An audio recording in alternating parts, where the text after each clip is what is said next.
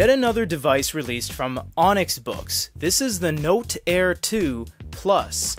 It features an overall heavier form factor, but it utilizes the pen from the Nova Air C, has a 3700 milliamp battery, updated magnets, and a fresh coat of paint, along with a more refined UI. Already, the retail packaging looks a little bit different than its predecessors.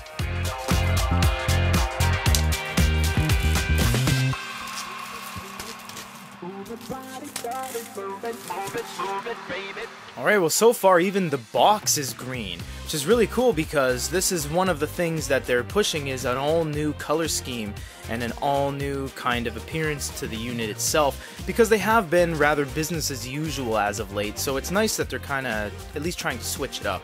I don't know if the internal packaging is going to be any different or the layout or anything like that.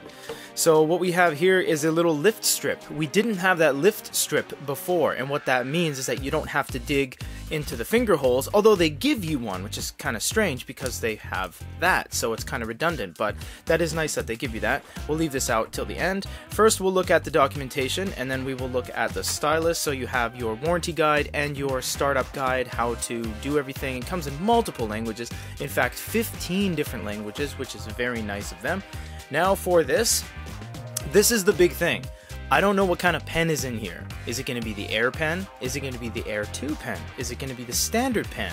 Let's see what they give you. And it is the Air 2 pen. So this is the Air C pen actually because it's not the Air 2 pen because they don't actually have the orange accents on it. It isn't the Air pen. I know it gets confusing, and in fact, we might actually do a video on the pens. So this one is a gunmetal and blackish green pen, the one they used on the Air C, and it uses the rounded graphite tips, not the conical tips that the Air gave you back in the day.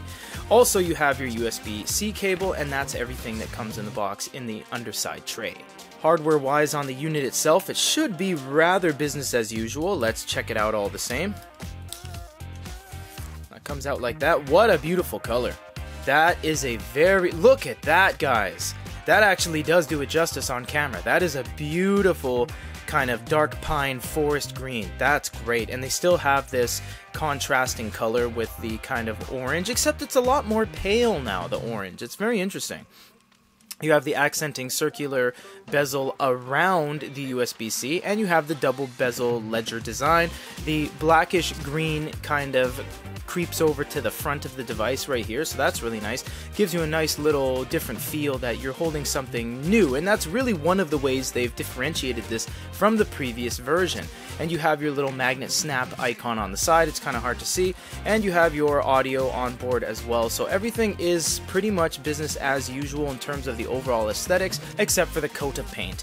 This is everything that comes in the box with the brand new Onyx Boox Note Air 2 Plus. This is the blackish green version. This is the updated version all around. It has subtle updates. We'll get into a full review on this in the coming days. For GoodeReader.com, this is Peter.